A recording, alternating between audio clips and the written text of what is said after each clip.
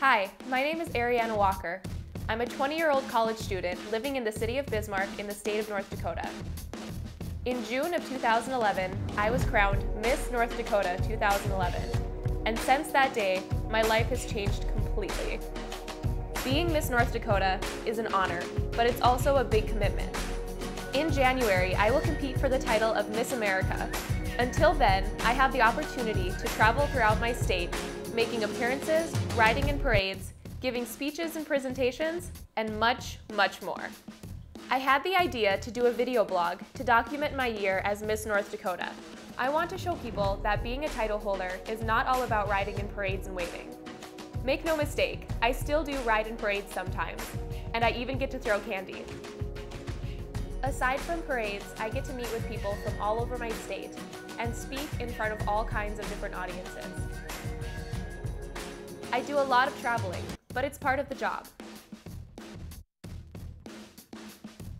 To make the best of a long car ride, I usually organize and practice my presentations. Usually I can get an extra 20 minutes of sleep by putting my makeup on in the car. In mid-July, I traveled to Medora to speak to the superintendents of Class A North Dakota schools.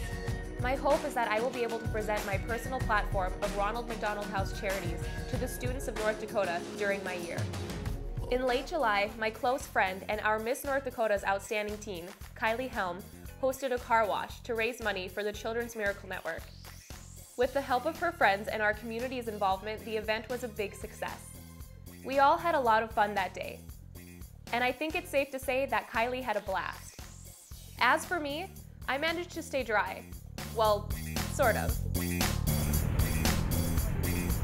In August, I got together with some of the girls from our local youth pageant.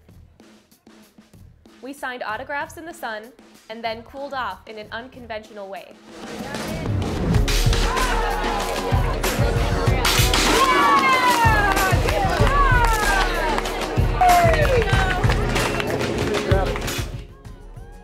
I am so proud of these girls for getting in the dunk tank and having such a great attitude about it.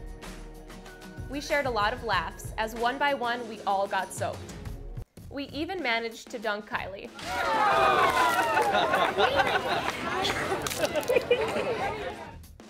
On August 11th, Dairy Queens all over the nation hosted Miracle Treat Day to raise money for the Children's Miracle Network hospitals. It was an early morning filled with radio and TV interviews. There is never a dull moment when I'm with Phil and Jason on KFYR 550. 717 K Fire 550, the PH Factor, Phil Parker, Jason Holm, and uh, Miss North Dakota, Ariana Walker. Here she is, Miss North Dakota. And in for Miracle Treat Day, it's Miss North Dakota, Bismarck's Ariana Walker. Welcome to KQ.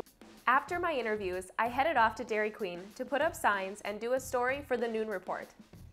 I bought my first Blizzard of the day and happily ate it for breakfast. That day, a portion of the proceeds from every Blizzard sold was donated to the Children's Miracle Network. Last year, this fundraiser raised $5.5 million. I came back that night to eat more ice cream and sign autographs. The best part of my day was spending time with Hannah, an amazing young girl who survived cancer when she was only 15 months old. I was inspired by her story, and I am so happy to have met her. Well, that's all for now. Be sure to keep watching for more of my video blogs as I prepare for Miss America. In December, you can vote me into the top 15.